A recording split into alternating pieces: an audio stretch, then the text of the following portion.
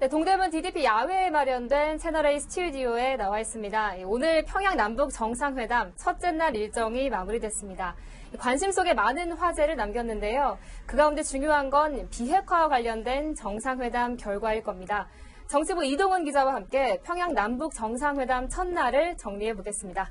안녕하세요. 안녕하세요. 자, 가장 중요한 거 비핵화일 텐데요. 어떻게 이번에 비핵화 진전 있었습니까? 네, 문재인 대통령과 김정은 위원장은 오늘 첫 번째 정상회담을 2시간 동안 했습니다. 아직까지 이 자리에서 어떤 내용이 오갔는지는 알려지지 않고 있습니다. 내일 오전에 두 번째 정상회담이 예정돼 있는데 정상회담이 끝나고 공동 기자회견을 하는지 또 이 하는 자리에서 어떤 내용이 담길지가 핵심이 될 것으로 보입니다. 청와대도 아직까지는 내일 정상회담이 끝나봐야지 이번 방북의 전반적인 성과와 결과를 알 수 있다고 보고 있습니다. 지금 북미 관계가 교착 상태에서 문재인 대통령 굉장히 큰 부담을 안고 방북했는데요.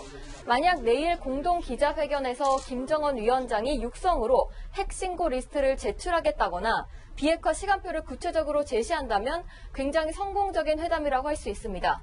하지만 그동안 북한이 핵신고 리스트 제출에 알레르기적인 반응을 보였던 만큼 쉽지 않을 거라는 관측이 나옵니다.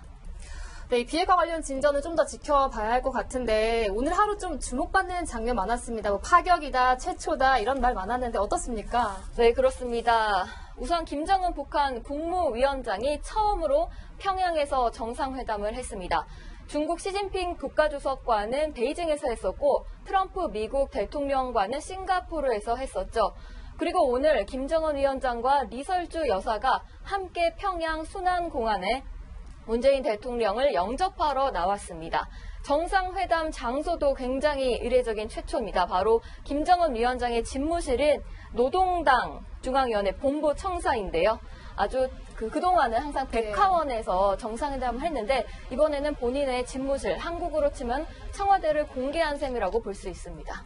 또 오늘 또 이제 김정은 위원장이 굉장히 유머러스한 모습을 보여줬어요. 이 문재인 대통령의 숙소였던 이 백화원 영빈관에서 농담을 또 던졌잖아요. 어떻습니까? 네, 두 정상 내외가 백화원 영빈관에서 좀 상당 기간 담소를 나눴는데요. 담소가 끝나갈 무렵에 이제 두 정상이 이동하려 하자 취재원이 좀 가까이 이제 따라 붙었습니다. 그러자 김 위원장이 웃으면서 나가줘야지 역까지 들어오 이렇게 농담을 했습니다. 그리고 네. 좀김 위원장이 본인을 낮추는 그런 표현도 했는데요. 어떤 표현을 어, 네, 문 대통령에게 비록 우리가 수준이 낮지만 성의를 다했다 이렇게 네. 말했습니다. 또 문 대통령을 향해서 뭐 세상 많은 발전된 나라에 비하면 우리는 초라하다 이렇게 얘기하기도 했습니다. 네. 또 이번 방북에는 4대 그룹의 총수들도 동행을 했습니다. 이 대북 제재가 해제된 이후에 남북 경협을 아마도 염두에 둔 것 같은데 경제인들의 모습은 또 어땠습니까? 네, 그룹 총수로는 이재용 상- 삼성그룹 부회장, 최태원 SK 회장, 구광모 LG그룹 회장이 참석했습니다.